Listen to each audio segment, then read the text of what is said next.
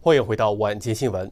中共干预加拿大选举的消息持续的发酵，联邦反对党议员正推动国会委员会对此进行调查。来看本台驻加拿大记者李威的报道。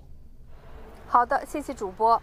根据加拿大情报部门提交给总理特鲁多的报告，在2019年的联邦大选中，至少有11名候选人得到了北京方面的秘密资金支持。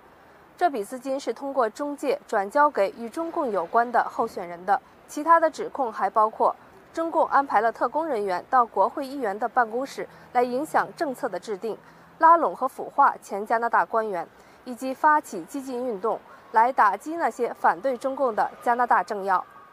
I think it's very troubling that the Prime Minister has known about allegations of foreign interference in Canadian elections since last January, and he hasn't taken any action. 特鲁多回应批评时说：“政府已经采取了措施来保护选举的完整性，未来也将继续增加力度来打击外国干预。”外交部长日前就表示，将打击外国政府对加拿大的干预这样的举措要列入新的印太战略。We need to have a government that stands up for human rights and for freedoms, uh, and defends Canada's interests in an increasingly dangerous world. 十一月九日，已有六名国会议员联名致信内务部常设委员会，要求尽快召开会议来解决现在面临的问题。好的，现在把镜头交还给演播室。